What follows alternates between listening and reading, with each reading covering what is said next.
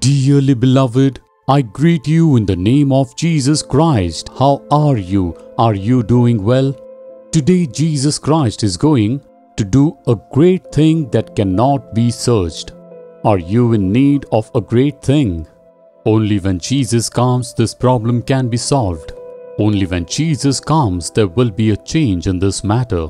Are you in such a situation today? A man of God says like this in Job chapter 5 and verse 9 He performs wonders that cannot be fathomed, miracles that cannot be counted. What is meant by things past finding out? It's like asking about something, how did this happen or how could this ever happen? I'm not able to understand this. I'm not understanding this even after searching profoundly.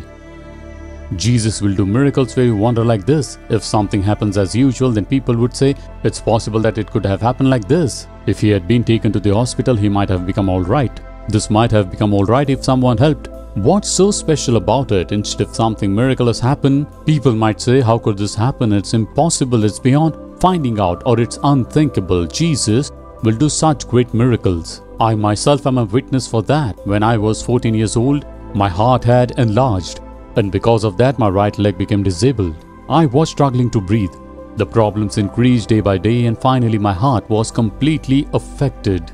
My parents consulted expert doctors in Chennai and spent so much on it.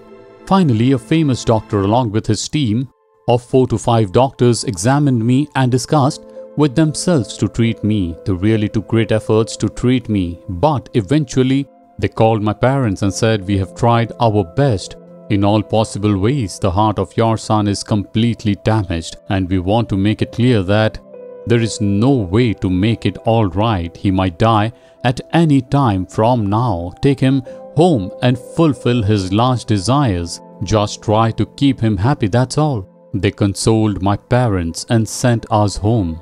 I came to a situation where medicine could do nothing. It was in such a moment that Jesus Christ came in search of me. I never knew Jesus and I had talked ill of him earlier. There was literally no connection between our family and Jesus Christ. But one of our family friend came to see me. He was a Christian. My mother asked him, would you pray to Jesus for my son? He consented immediately without giving any excuses. He knelt down near my bed and started praying earnestly. As he was praying, I could feel Jesus Christ coming near my bed and a hand touching me. That's all my heart became anew. It had been renewed by the Lord Jesus. It's been 50 years since this happened. I've never had any problem in my heart since then.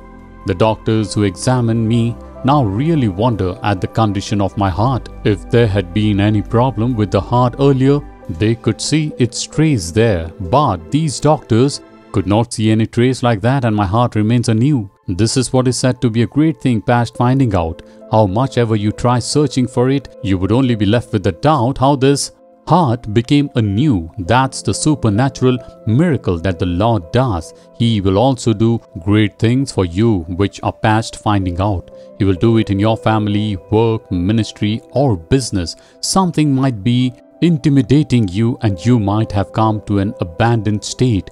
But Jesus, who does great things past finding out, will do it for you today. So will you pray with faith?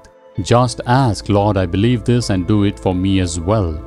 Dear Father, you do great things past finding out in my life, my family, my ministry, business, work, or in this matter, I do not know what to do. You are a God who does great things past finding out. Do a miracle for me in the name of Lord Jesus Christ. I receive it in the name of Lord Jesus. Amen. Amen.